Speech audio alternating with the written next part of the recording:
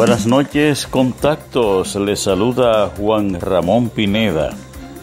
Todavía los partidos políticos no se han puesto de acuerdo para aprobar la ley que regula las primarias en la República Dominicana.